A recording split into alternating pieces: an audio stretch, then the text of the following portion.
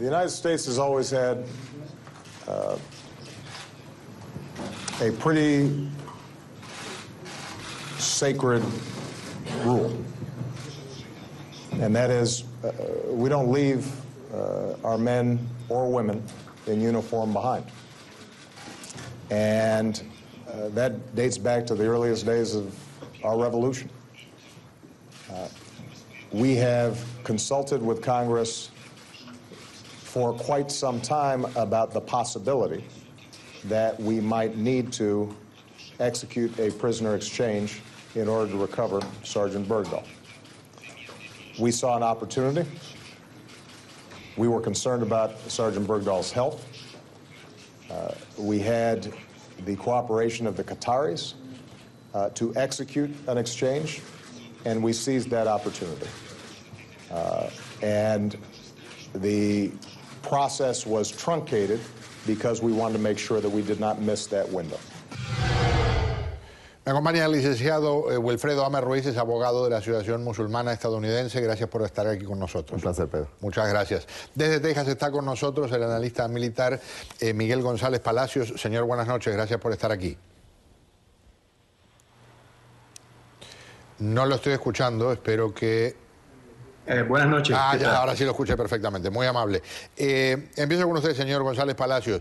Principal novedad en este momento, por ejemplo, en la página eh, de CNN y otros medios, oficiales militares están diciendo que es un hecho eh, indiscutible que Bergdahl abandonó su puesto deliberadamente y que, me imagino eso significa en la práctica, que puede ser acusado formalmente de deserción. ¿Qué piensa usted del proceso y del canje? Bueno, definitivamente la ah, suposición es correcta. Hay más de un testigo que pueden verificar eso. Eh, las consecuencias son verdaderamente eh, difíciles de denegar en desertor, es lo que básicamente es en tiempo de guerra, en combate, abandonando su puesto, eh, trae una serie de consecuencias muy serias.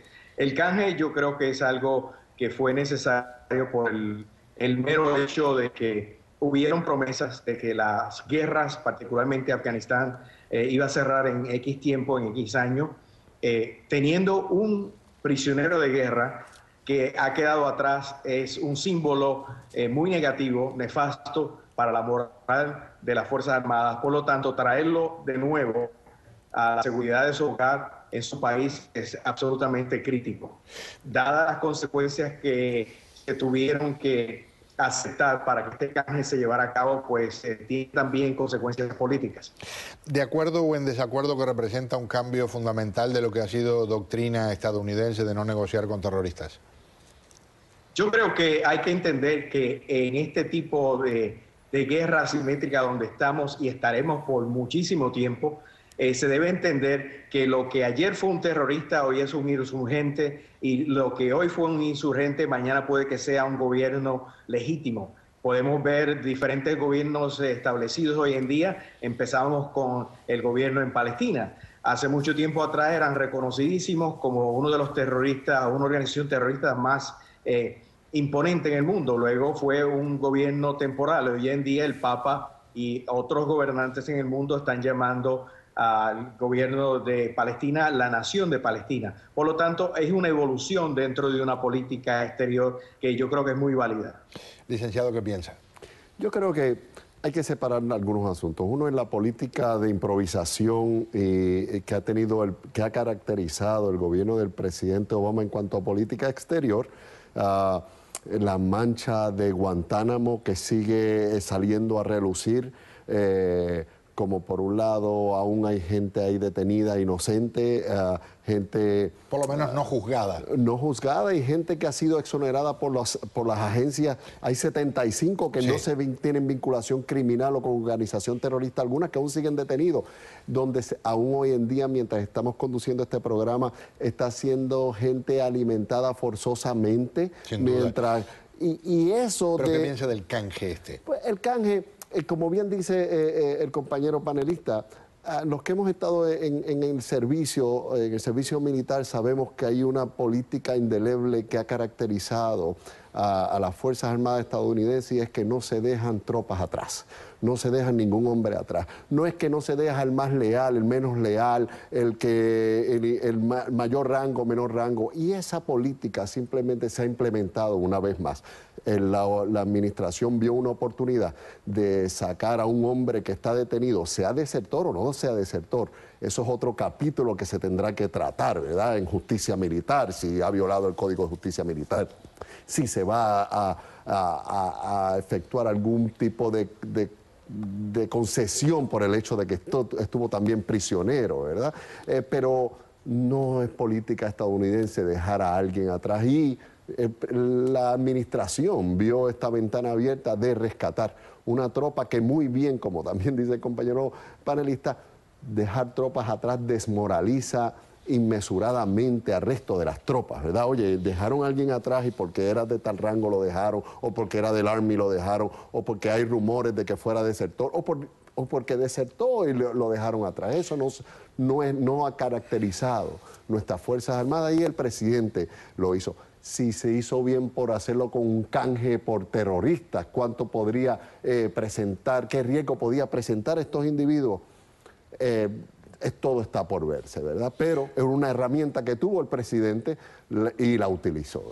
Eh, dos cosas que quiero compartir. Primero, el senador John McCain, que eh, fue prisionero de guerra, que sufrió lo indecible, eh, fue torturado, vivió momentos de horror a lo largo de un periodo considerable y después lo que dice también el presidente Obama, extendiendo lo que anunciamos y presentamos al principio. Primero, McCain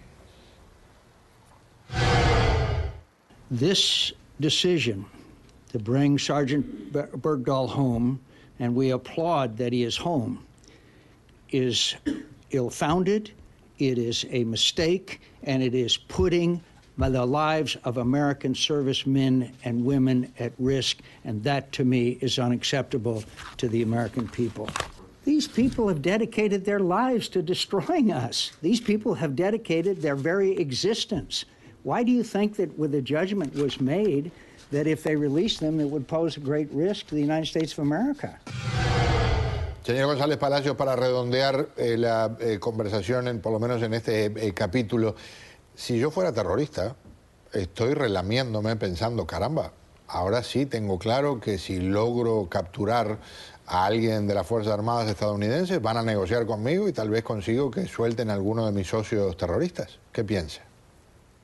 No, yo creo que eso es un ejemplo que está truncado fácilmente por una práctica que se ha llevado a cabo por muchísimo tiempo por un gobierno que todos conocemos muy bien, se llama el gobierno de Israel. El gobierno de Israel ha tenido la práctica de canjear eh, soldados capturados por eh, encarcelados terroristas una y otra vez. Han, han habido cientos de individuos que han sido canjeados y todavía continúa. Por lo tanto, esto que dice este, el senador McCain, que respeto y admiro muchísimo, es simplemente una postura política como muchas de otras personas que han dicho lo mismo.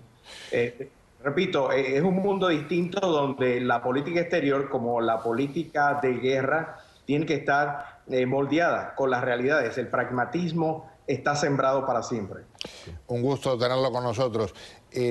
Licenciado, ¿y usted qué piensa en términos del riesgo de que ahora haya piedra libre para tratar de capturar? Porque con uno conseguimos librar a unos cuantos. Es que siempre va a ser estrategia no tan solo de los terroristas, sino de cualquier ejército de la otra parte capturar eh, elementos del ejército contrario, ¿verdad? Eso es una, una herramienta de leverage, de, tener eh, piezas de negociación, o matar o capturar al enemigo, ¿verdad? Esto no es nuevo. Y no las guerras eh, asimétricas contra organizaciones, no contra Estados, no, no distan de también regirse por ese elemento de la meta es capturar o matarla a la otra parte.